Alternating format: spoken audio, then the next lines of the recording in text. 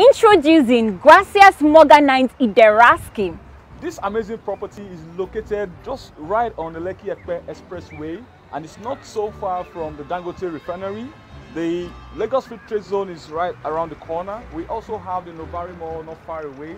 There's Caleb International School not far away as well. The Gracias Morganite consists of over 100 acres of land. Gracias Morganite has the best amenities that you can find anywhere. Trust me, 24 hours lights, 24-7 security, green area. And guess what? This Gracias Morganite comes with a Lagos State government allocated C of O. Starting at 7 million naira, you can get a piece of this beautiful and well secured estate.